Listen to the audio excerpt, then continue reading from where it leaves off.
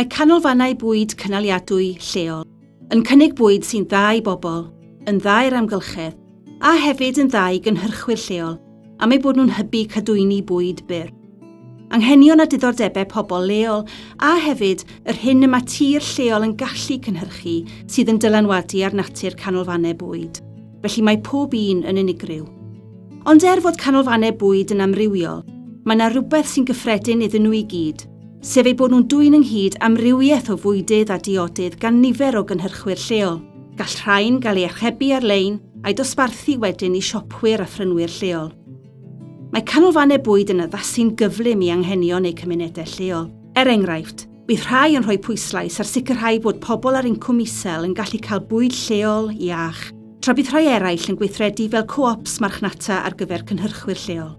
Datblygodd canolfannau bwyd i fod yn boblogaidd iawn yn ystod y pandemig, ac maen nhw nawr yn addasu er mwyn darganfod ffyrdd i sicrhau y gall pawb barhau i fforddio prynu bwyd iach sy'n cynnal yr economi leol ac yn llesol i'r ymgylchedd. Fel rhan o'r prosiect Mannau Gwyrdd Gwydn, mae gweithwyr y tir wedi gweithio mewn partneriaeth gyda'r Open Food Network, Social Farms and Gardens a Chymdeithas Ymddiriedolaethau Datblygu Cymru er mwyn cefnogi pimp o ganolfannau bwyd blaengar yng Nghymru. I'm Tina Castry, I'm the Food Hub Manager of the Peninsula Producers Food Hub. My name's Gwenllian and I'm the Food Hub Coordinator at yr Orsaf ym A lews ydw i, a dwi yn cydlynu Cadwyn Ogwan, sef Cadwyn o gynnyrchwyr bach lleol yn y fan drydan o gwmpas Dyffryn Ogwen. Dwi'n And then we've got Nick. Really passionate about getting local food out to local people within this area. But I really think that just getting the knowledge out there that it's normal food for normal people, but from the local area. And we just need to get the knowledge out there that that is not a strange thing. You can buy bread from the hub, you can buy it from a local person in the local area. We just need to make people aware of that.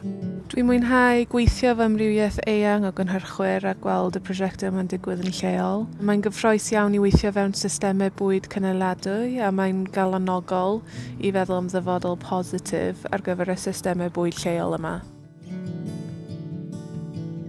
Dwi yn caru'r cynnyrch.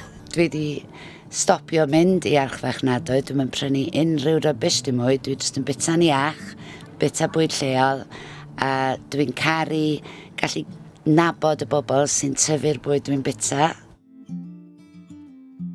My name is Alma and uh, and I'm Sam. We uh, run Kairiad CIC. As, as we were planning how are we going to access the community here, the food hub had been around for about a year. I got talking to Dan Jones and he was really supportive. A couple of meetings with him and you, we, he showed us how it worked and it was really simple. Within a week we were selling yeah, a sort of trying to create like a whole system based on Nordic, based on regenerative agriculture. We really like variety and diversity, and this allows us to grow a little bit of everything. On the Thursday, we know exactly what we're harvesting, so we don't over harvest, we don't pull things out of the ground that we don't need.